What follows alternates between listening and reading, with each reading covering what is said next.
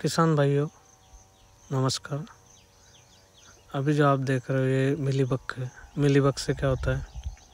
ये बहुत आम समस्या हो गई है सीताफल में और अनगिनत फलों में।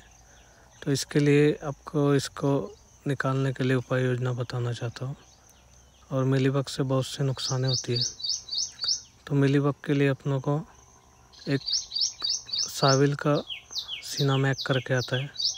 वो प्रति पंप तीस एम छिड़काव करना चाहिए और उसके साथ कलर, शाइनिंग वगैरह और माल जल्दी बनाने के लिए सिलिक्सोल ओसा, जो प्रीवी कंपनी का आता है, वो लेना चाहिए।